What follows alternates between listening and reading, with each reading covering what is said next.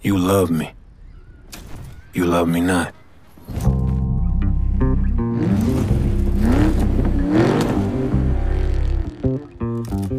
You love black culture, but do you love me? You love how I sound, my voice, these beats, this flow. Not me though, right? You love how I look, my hair, this skin, but me? Nah. We don't get to exist. We're forced to survive. We still fight. We still play while the world burns. On fields that ain't even level. All men are created equal. That's my favorite part.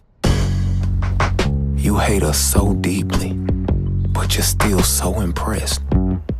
Why can't you see? There's history in our skin. You built this country on our backs. I'm him, he's me, she, us, we are all black. Black. Power to live right. I got the power. Power. Power to walk right. We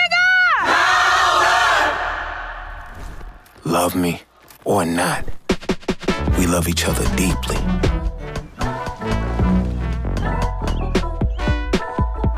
We gon' be us.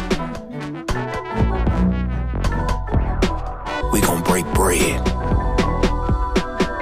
We gon' defy gravity. You love my culture, but do you love me?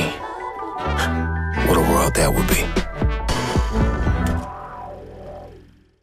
이 광고는 출연진도 출연진이지만 일단 모든 제작진이 어벤져스급이라고 보면 됩니다. 감독은 멜리사 메소카스가 맡았죠.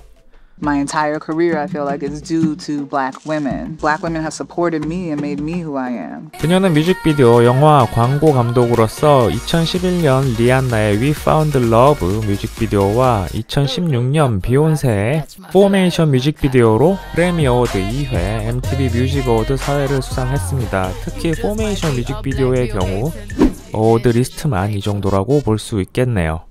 감독에 이어 작가는 레나 웨이스가 맡아서 스크립트를 작성했습니다. 그녀는 제69회 에미상 시상식에서 흑인 여성 최초로 코미디 각본상을 수상하기도 했죠.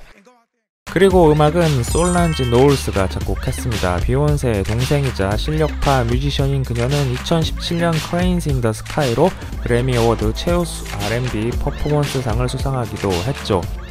마지막으로 더빙은 토벤 느위그웨가 담당했습니다. Nigerian 부모님 사이에서 태어나서 텍사스에서 성장한 가수이자 래퍼입니다. 제작진과 더불어 출연진도 대단한데 래퍼 릴 베이비, 나스카 유일의 풀타임 흑인 레이서 부바 월러스, US 오픈 우승자 나오미 오사카, 그리고 사회운동가 제나야 칸이 출연했습니다. 이렇게 초호화 제작진과 영향력 있는 출연진이 한꺼번에 Beats by Dr. Dre의 광고에 출연한 이유는 무엇일까요?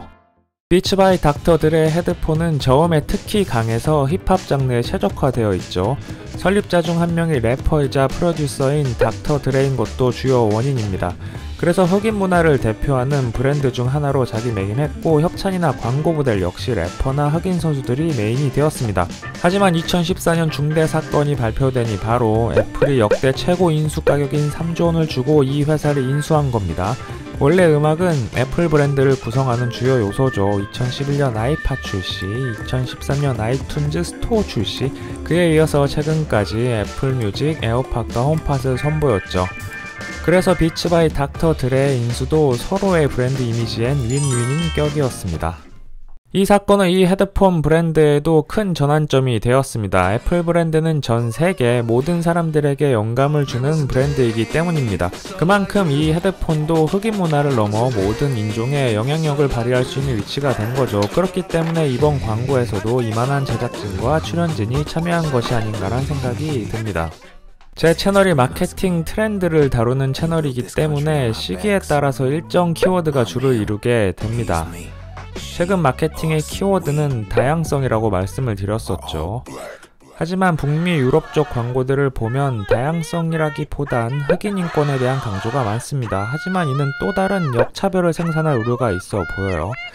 그래서 다양성이란 주제는 결국 특정 인종에 대한 평등이 아닌 모든 인종에 대한 평등으로 초점을 맞춰야 하지 않나란 생각도 듭니다.